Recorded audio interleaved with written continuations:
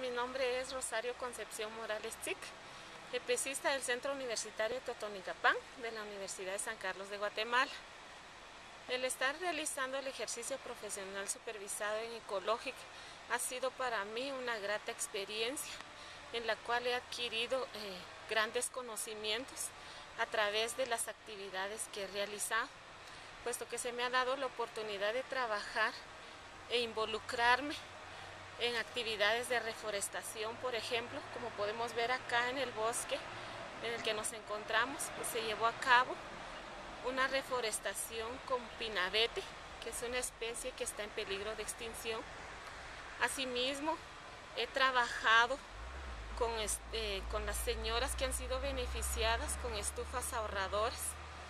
Previo a la entrega de estas estufas, pues se ha realizado un diagnóstico socioeconómico para determinar eh, y clasificar a las familias con menos recursos económicos, que son quienes son las beneficiadas. Se ha realizado también con estas madres de familia charlas de sensibilización para el cuidado ambiental. De igual manera se han trabajado talleres de hogares saludables, esto como medidas para ir mitigando los grandes problemas ambientales que existen hoy en día. Pues sabemos que si iniciamos desde nuestros hogares a tener higiene, obviamente vamos a tener un ambiente mucho más sano y menos, con menos contaminación.